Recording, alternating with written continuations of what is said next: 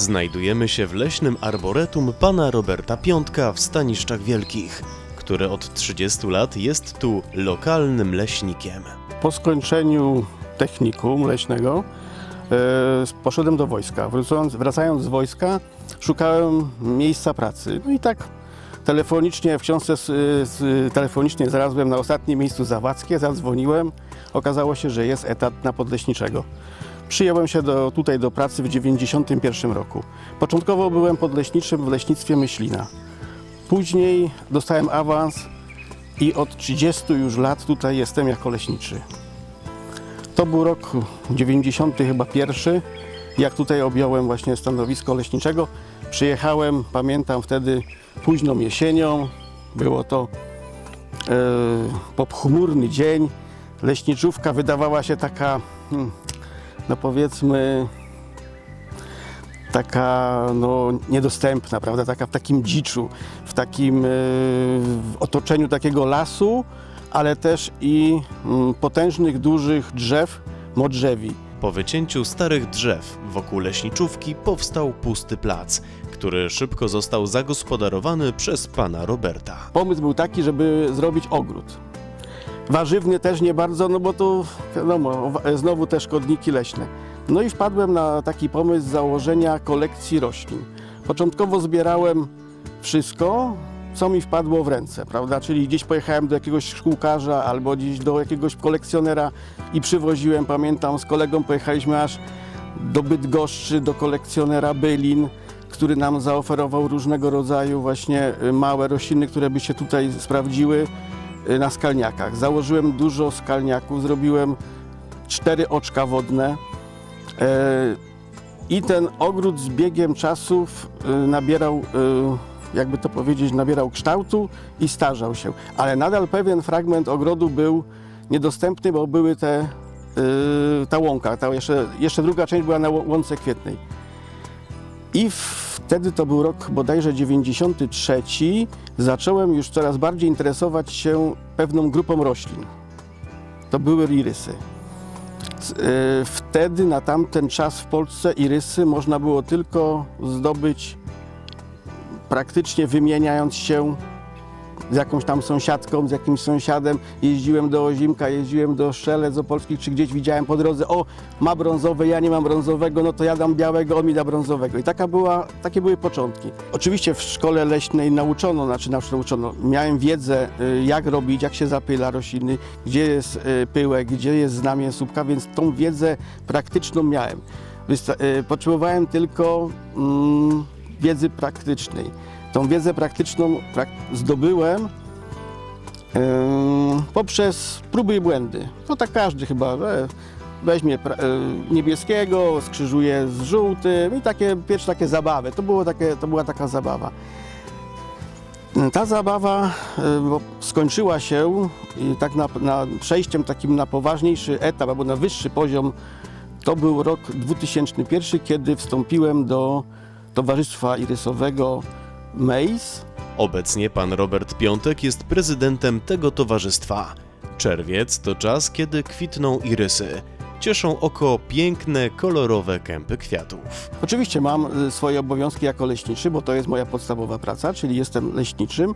Mam leśnictwo, mam firmy pracujące w leśnictwie.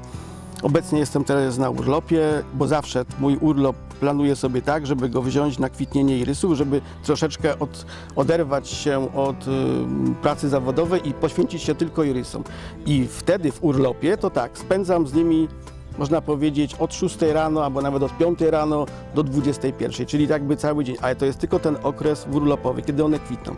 A tak poza tym, no to po pracy, no, to jest taki odstresowanie się, przychodzisz do tego ogrodu, e, cieszy Cię po południu o 15, o 16, jak te kwiaty, e, e, możesz e, na nie popatrzeć, możesz je powąchać, bo to te zapachy są bardzo ważne. Z miłości do irysów zrodziło się pisanie powieści fantazy. Bohaterami są oczywiście irysy, które zostały ożywione przez autora. Zimą no, nie ma jak możliwości przyjechania na żywo zobaczyć, więc w tych portalach społecznościowych powstały takie fora dyskusyjne i w pewnym momencie ja zaproponowałem taką zabawę, w którą y, nawet się ludzie wciągnęli. Po prostu opisywałem e, irysa, nadając im cechy ludzkie i one miały zgadnąć, o jakiego mi irysa chodzi. No i w, tak mnie to wciągnęło, że w pewnym momencie dołożyłem dialogi. W życiu nie pisałem książki, nigdy. Żadnego, nie wiem, nie pamiętam jakie miałem oceny z języka polskiego, ale pewnie takie jak większość, czyli państwowe. ale yy, napisałem chyba z sześć rozdziałów i wysłałem to koleżance pisarce, która pisze teksty, między innymi nawet pisała Beacie Kozidrak, yy, teksty yy, piosenek do Anglii. Wysłałem to do tej Kate i ta Kate przeczytała to. Pewne, powiedziała mi pewne rzeczy, które robię źle, które robię dobrze i że to nie jest takie złe. No i to zacząłem tak jeszcze bardziej w, to, w ten temat y, drążyć, y, bardziej wchodzić w coraz bardziej zawiłe y, dyskusje pomiędzy tymi rysami, już takie romanse tworzyć, bo też krótkie.